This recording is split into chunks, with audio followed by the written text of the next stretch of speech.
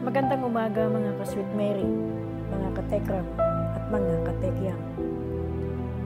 Maraming nag-alala kay Kuya Brian sa nangyari sa kanya.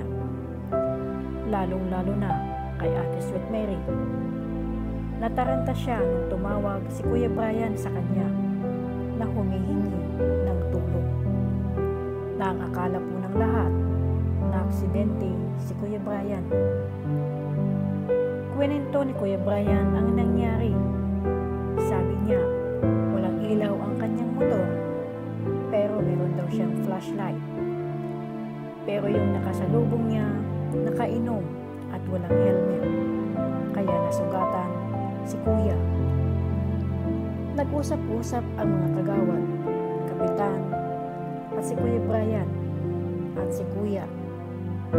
At sa pamamagitan ng opisyal ng barangay, naayos ang kanilang problema.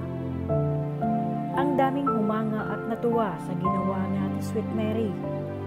Nagpaabot ng tulong si Ate Sweet Mary kay Kuya na nasugatan. At sabi ni Sweet Mary kay Kuya, bibisitahin siya hanggang gumaling ang kanyang mga sugat. Laking pasasalamat ni Sweet Mary dahil walang nangyaring masama kay Kuya Brian. At nagpapasalamat po tayo sa Panginoon dahil kahit ganun pa man, ligtas po si Kuya Brian.